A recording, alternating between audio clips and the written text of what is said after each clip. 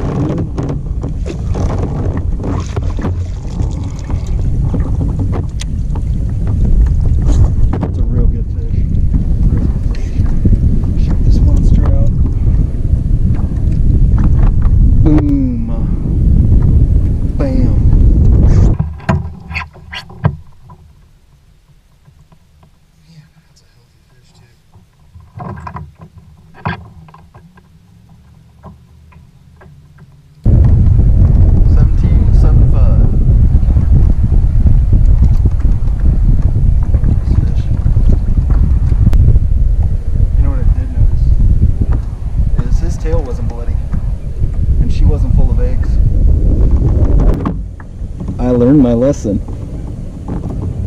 We are going to retie.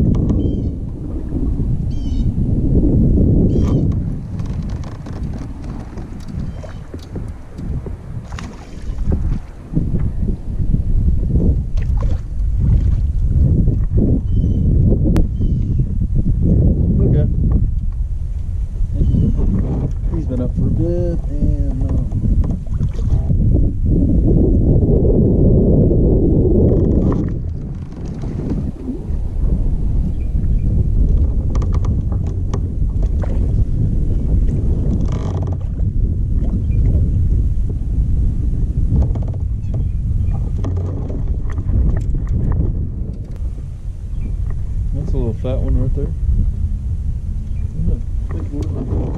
Yeah.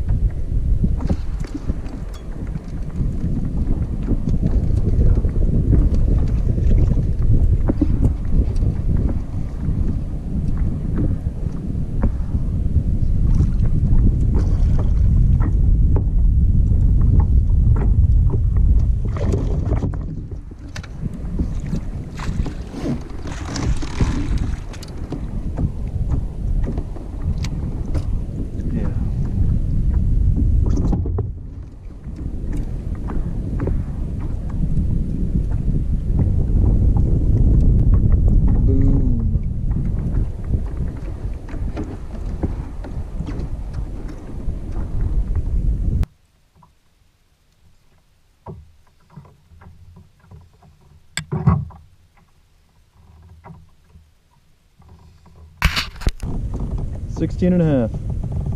Nice fish.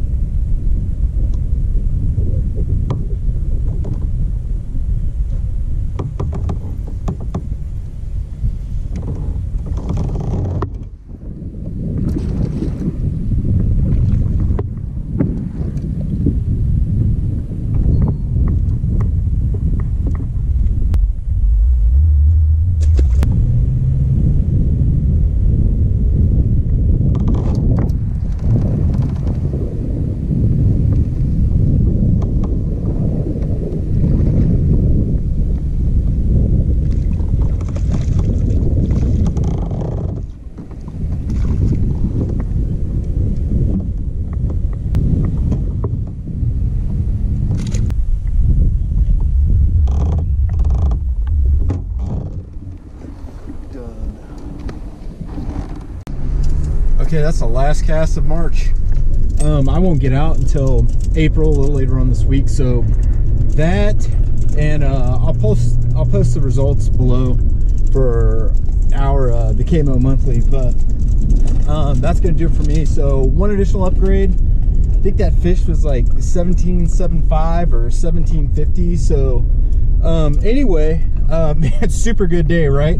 Talk about uh, talk about pulling it out of the bag, man. I had I'd left all my soft plastics at the house, so I had rushed out too quick. I forgot to grab them. So what I had was what I had, and fortunately, I had like one brush hog that I almost boated a fish with in the door, and then I had this one little Z-Man Black and Blue TRD that I had inside my kayak that obviously you saw caught all the fish. So I wasn't ready for this water to be as murky as it was. Like it was super, super stained. Uh, maybe six inches, maybe six inch visibility. So anyways, awesome day out there, man. So listen, hey, thanks a lot for checking out my channel. Like the video if you do. Uh, if you're not a subscriber, please subscribe. I don't need to be your favorite channel. I just want to be a channel you guys like to watch. So thanks a lot and we'll see you next time. Bye.